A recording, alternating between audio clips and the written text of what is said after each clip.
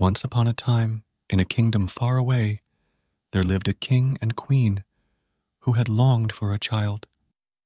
Their wish was granted when a beautiful daughter was born, and they named her Aurora. To celebrate her birth, they invited people from across the land to a grand christening ceremony, including three good fairies who bestowed blessings upon the infant princess. However, a malevolent sorceress named Maleficent, who was not invited to the celebration, arrived in a fit of rage. She cursed baby Aurora, declaring that on her 16th birthday, she would prick her finger on the spindle of a spinning wheel and fall into an eternal sleep. The curse could only be broken by true love's kiss. Horrified by Maleficent's curse, the third good fairy, Merryweather, used her magic to alter the curse. Instead of dying, Aurora would fall into a deep sleep until awakened by true love's kiss. The king and queen, desperate to protect their daughter, ordered all spinning wheels in the kingdom to be burned. Aurora was raised in secret by the three good fairies, Flora, Fauna, and Merryweather, in a secluded cottage deep within the forest, far away from any spinning wheels or the knowledge of her true identity.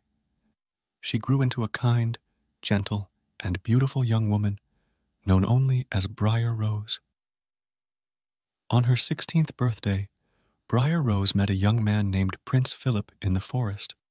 Unbeknownst to both of them, it was love at first sight, and they pledged to meet again. Briar Rose returned home, where the good fairies revealed her true identity as Princess Aurora and her impending fate. Meanwhile, back at the castle, Maleficent had kept a watchful eye on Aurora. She used her dark magic to trick Prince Philip and lead him to the Forbidden Mountain, where she had captured him in the hopes of preventing him from breaking the curse. With the help of the good fairies and their magic, Prince Philip managed to escape Maleficent's clutches and set out to find the sleeping princess. After battling through thorns and defeating Maleficent in her formidable dragon form, he reached Aurora's side and awakened her with a kiss of true love. Aurora and Prince Philip returned to the castle, and their love for each other was celebrated with a grand wedding. The entire kingdom rejoiced, and the fairy's blessings were fulfilled as happiness and love filled the land.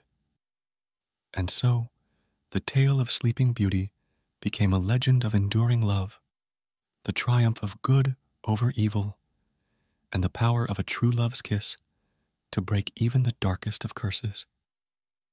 Aurora and Prince Philip's love story lived on for generations, reminding all that love could conquer any adversity and bring happiness to the hearts of those who believed in its power.